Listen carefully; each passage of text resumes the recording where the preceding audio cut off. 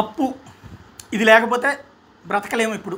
అప్పు చేసి పప్పు కూడు రోజు పోయి అప్పు చేసి ఏదో ఓ కూడు తినేటువంటి రోజు రాష్ట్ర ప్రభుత్వాలకు వచ్చేసింది.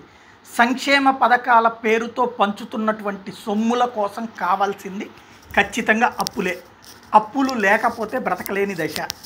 ఈ సందర్భంలో జిఎస్టీ నుండి ఏదైతే జిఎస్టీ ఇంప్లిమెంటేషన్ వల్ల రావలసినటువంటి పన్నుల వాటా ఎంత తగ్గుతుందో పన్నుల సంపాదన ఆ తగ్గినంతటి అమౌంట్ కాంపెన్సేట్ చేస్తామన్నటువంటి కేంద్ర ప్రభుత్వం కరోనాకి ముందు చెప్పినటువంటి సాకులు కుదరలేదు.